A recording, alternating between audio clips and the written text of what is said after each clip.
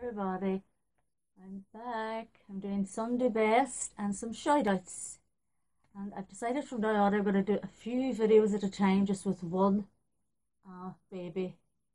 Because I think um, some of my videos have been maybe too long if you're trying to go around each baby.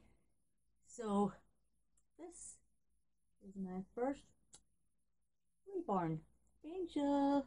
She's all dressed up today. And I want to say thank you as well to Mary my artist who reborn Raven. And um, as I said, I was always looking for these hats, and she she happened to send one with Raven. So then she kindly said she would send one on for Angel. And Angel is just crazy about it. Say hello, Angel. Isn't she just beautiful in it? I love it. The smaller size than Raven's, of course. This I bought for Raven. It fits Angel beautiful for some the best. And these shoes, did you see these? Oh, up this way. Aren't they just beautiful? Mary, these were the shoes you said um, along with Raven as well. But apparently they have the same size feet, so they'll be able to share. Is that right, Angel? She's just looking so pretty today. And I wanted to show you this, which Mary also said. It just pins on. Isn't it beautiful? I suppose you could pin it on to like a hairband or something as well.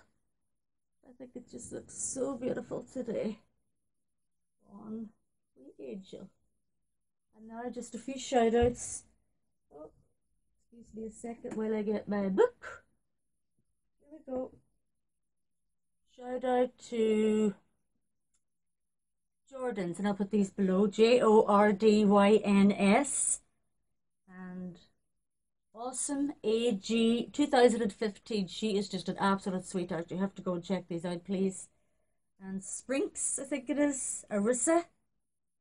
Now, I found her on Crystal's uh, channel because she just adopted one of Crystal's wee babies there. Um, let's see, S P R I N X. I'll put it below anyway. So that's the three. And uh, please go check them out. Thank you very much. Bye.